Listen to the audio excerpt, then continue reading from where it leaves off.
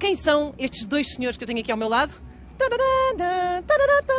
Joey Tempest e Ian Ogland são o vocalista e o baterista dos Europe que estão nesta edição do Rock in Rio. Who is going to win the European Championship? I don't know. I'm, I'm a sport atheist. I don't understand. I don't understand. That's a, a very good concept, being a sport atheist. So I'm not going to ask you if you still have fun playing live because you obviously do.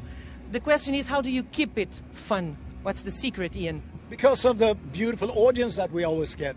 You know, we get the energy from the from the audience. You know, it's and and it's it just we start playing say the final countdown and the audience go nuts and it gives us the energy to keep doing it.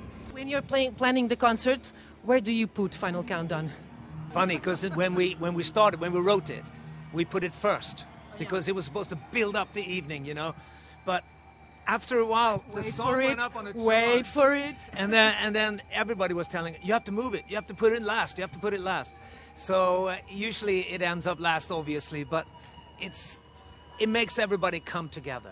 Who's in better shape, Europe the band or Europe the continent? She's been uh, she's been waiting to ask that. You know, that's her favorite question.